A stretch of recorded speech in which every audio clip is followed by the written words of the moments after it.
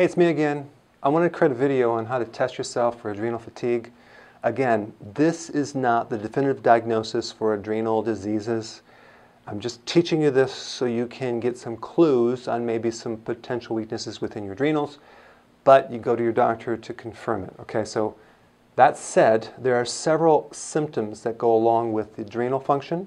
Uh, you can't get to sleep easily. Maybe you're exhausted at 9 o'clock. And if you don't go to bed between 9 and 10 and you miss that cutoff, you start waking up and now you really can't get to sleep, maybe 11 or 12, and you're just wired. And now it takes 90 minutes because you missed the wave. And then you might get up at 2 o'clock. You might wake up feeling exhausted.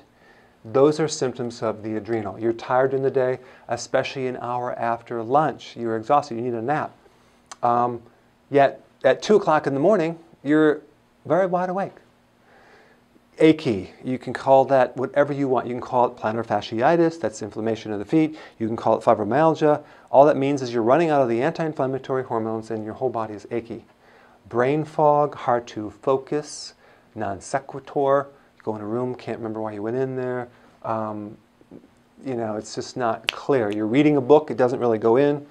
Um, low tolerance. People are starting to get on your nerves, right? You're edgy um, you, you go uh, into a room and you see something out of order and your attention focuses in on only that and not the rest of the room. Breathing issues, and that has to do with two things. Number one, going up a stairs, flight of stairs, and your, your legs are getting heavier, okay? Or at night, you can't get enough air in. That's a symptom of adrenal because your pH is actually too alkaline, not too acidic, and that you're having breathing problems. Okay, sinus. The sinus does get congested with adrenal. Um, so that's one thing, and you can get allergies as well. Decreased libido is adrenal. And lastly, dizzy, dizzy when you stand up. So let's pretend that you're laying down like that on a table, and then you wait for about three or four minutes, and you take your blood pressure, okay? And then you stand up and take the blood pressure, okay? That is a test to measure adrenal function and is called the Ragland's test.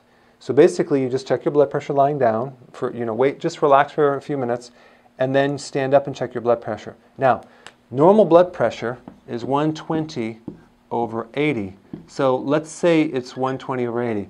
And when you stand up, this blood pressure, the top number, that's called the systolic, that should go up by 6 to 10 points normally. With adrenal fatigue, it will go down or it goes excessively too high. So it's a really simple way to determine your ability to adapt to gravity stress. So now that's how you do the test. But here's the thing let's get to the purpose of the adrenal um, and your adrenal gland. Your adrenal gland is a survival gland. It actually helps you cope with stress. It helps you adapt your body to stress. Standing up is a little bit of gravity stress, and your body will then adapt and raise the blood pressure to adapt for that position change. Because if you did not adapt to that gravity stress, there won't be enough blood flow in your brain and you will pass out. Thus, the symptom of dizzy when you stand up too fast. Okay, you get that? So that's a good way to see if your body is adapting. Another way, you could run up the stairs. And if you get out of breath too fast from a little run up the stairs, we know that's the adrenal issue or heavy legs.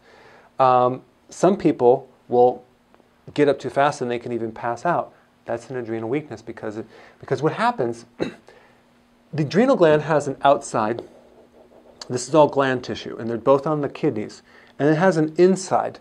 The adrenal gland is the only gland that has two parts, an inside and an outside. The outside is all gland tissue, produces hormones, but the inside is all nerve tissue. I don't know if you knew that.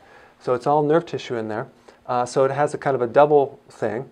And the nerve tissue inside the adrenal produces hormone like messages, and they're called neurotransmitters adrenaline, noradrenaline, serotonin, dopamine, GABA, those are all neurotransmitters, and adrenaline is a stress hormone.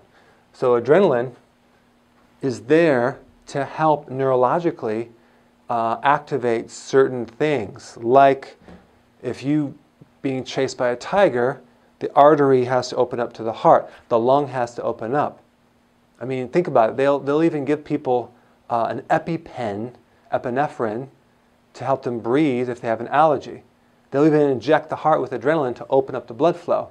Um, so, in other words, this tissue on the inside is part of the adrenal system of the stress response. It gets your body to adapt to stress. And if you wanted to know the name of that nervous system, I'll just give it to you. It's called the sympathetic nervous system. Another name for the sympathetic nervous system is the flight or fight mode. So um, you probably heard that tossed around, but I want to explain what that means a little bit more. If, if you see a lion in the wilderness uh, chase a zebra, the lion is attacking, um, he's fighting the zebra. The zebra is flighting, he's running away. They're both experiencing flight or fight. Just depends on what end of the spectrum. The lion is looking for supper, and the zebra is looking to avoid being supper. And so it's both a stressful situation. One is a starving situation. If I don't eat that animal, I'm going to be I'm going to die. It's a survival thing. Zebra, if I get eaten, I won't survive. So that's what flight or fight means. And so we all have the system inside our body. But we're not being chased by tigers.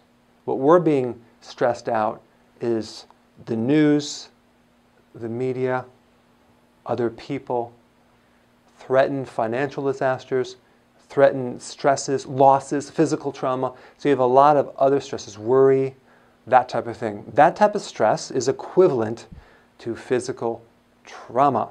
Okay? So basically, in a thumbnail sketch, if you're sus- suspecting that your adrenals are fatigued, you can simply just check one test. You can just basically check the blood pressure lying and standing and seeing if this blood pressure um, goes up six to 10 points. If it doesn't, then we know there's some weakness within that system. There's a lot of videos I have on what you do about adrenal fatigue, but I wanted to explain just a way to test it. Okay? Now, um, in this next part, I want to show you one more part or one more thing that happens uh, with adrenal and a very simple thing you can do to help with adrenal fatigue. So, one of the problems with a burnt out adrenal is that you start excessively thinking and analyzing everything. Let me demonstrate. Oh my God, how many calories is this? Gosh, my wife is really irritating me. John at work, he is just really something else. My videographer is taking way too long. When you're doing this excessive thinking, I know it's hard to turn it off, but really you have to realize what's happening. You're losing or you lost your space. The best thing, the easiest thing that you can do when you're stressed out is create space. What do you do? You get outside, go for a walk, go for a hike. Get out there and just get your attention on something else.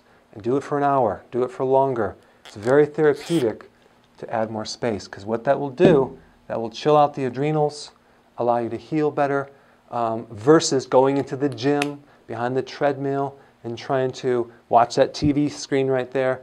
Yeah, you worked out, but you didn't get any more space. So you really have to balance out the, the entire day of activities for something that will just get your attention going way out there.